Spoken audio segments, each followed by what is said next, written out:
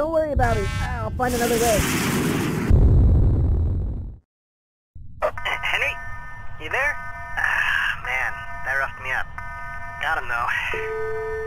There's gotta be another escape pod around here somewhere. We did it, though. We got him. Ah, It was a pretty good plan. Could say it was the greatest.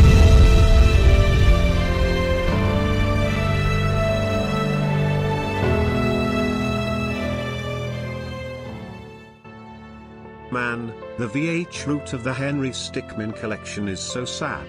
I get feels every time I watch its ending. No one else ever dies in this game.